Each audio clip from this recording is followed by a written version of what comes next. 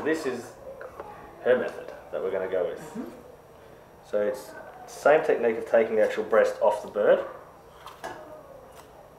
but the way it reads, and I think the desired effect that she wants, is a perfectly clean chicken breast, and then she will add the bone back in. You have to go back through, actually clean all the bone back out to put the bone back in. Uh huh. The way she actually explains it and, and talks about it is that you have a clean bone.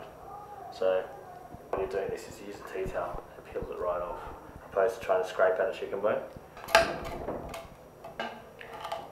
Instead of beating the bejesus out of it with the meat mallet, you, can, you get the exact same effect by breaking it open like that and butterflying it out, which is what is, is the modern technique on it. But now I'm assuming, let's not get over, back then there would have been no health warnings on, on anything. So this is as per recipe. Now when we go to, I guess, more of a modern thing, generally the skin is still taken off.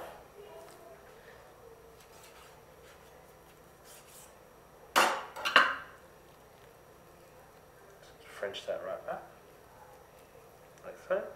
Now what we've been doing, the modern technique, is keeping the breast whole, fill it on, pocketing just below the back of the bone. So run your knife or your, your thinnest knife you own, and place your finger in it.